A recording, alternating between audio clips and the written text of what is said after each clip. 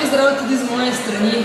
Jaz pa, tako kot Mirko, ne morem skočiti, ker sem že mlada penzionistka. Mene so že enkrat poimenovali kot legenda. Uh, upam, da pa tukaj v politiko se pač spuščam korak po, po korak, en korak naprej, pa spet korak nazaj.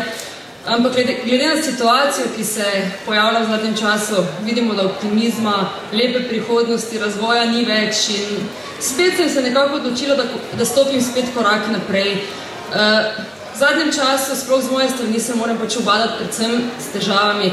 Na cesti me sprašujejo, kaj bom naredila v Evropskem parlamentu, če jih bom učila smučati. Uh, ne vem, jaz sem že nekaj časa uspešna v podjetništvu, jaz sem morala zaključiti študij, jaz sem končala smučanjem že pri 23 letih, zdaj, ki imam malenkost več.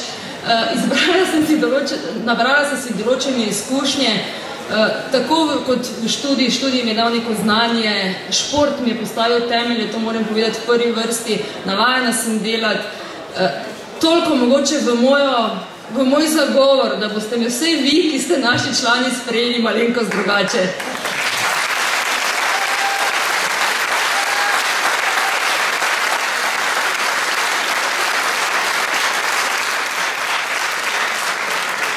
Vem, da z našimi programi, z našimi resolucijami vas ne rabimo prepričevati, ampak pozivamo vas vsi skupaj, da prepričate svoje sosede, da prepričate svoje prijatelje, da smo mi nekako najboljša izbira in da samo skupaj zmoremo več.